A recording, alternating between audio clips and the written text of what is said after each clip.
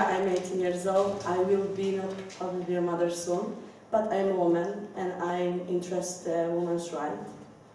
Uh, I see Polish happy mothers with children in Poland. On the other hand, our world hides a lot of unhappiness conditional to motherhood we don't know about them. We people tend to care about our close neighbors, not to say about the situation of women in Salvador, of course. Do we? No, I will tell you something. Uh, in Poland, people fight for uh, right to abortion. When baby is sick or a, a woman is a victim to rape. And in Salvador, woman must give a baby even if it's uh, dangerous for her life. Uh, or she loses a baby, this is considered her fault. A woman can go to prisons. But miscarriage, this is not speech. It's uh, not about my opinion, but about the woman's rights.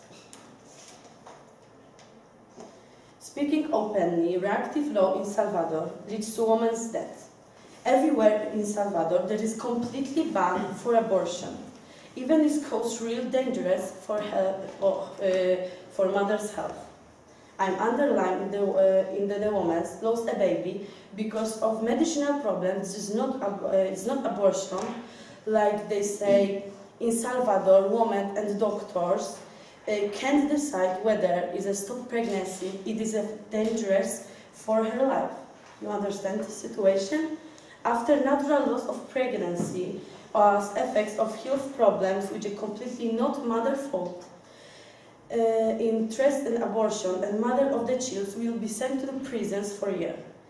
Uh, prohibition of abortion used to uh, also in situation when names to the place. This is a generally known that had indication sexual violence in extremely high in Salvador. A young girl be, between 10 or 14 years old uh, be, uh, old become raped to victims. Like to public interest leads to a claim in this problem. Now is the questions to you. Can you help? Martyna Wojciechowska, Polish journalist, made a documentary when she uh, opened the eyes, uh, opened the eyes Polish people and show, show this document, uh, Women in Salvador. So I'm talking to, uh, I'm talking about today and I wish you talking about tomorrow with other people in the world. I think we must uh, talk about lonely women in Salvador and show world what's happening in this country. I will tell you something. Is, uh, our home.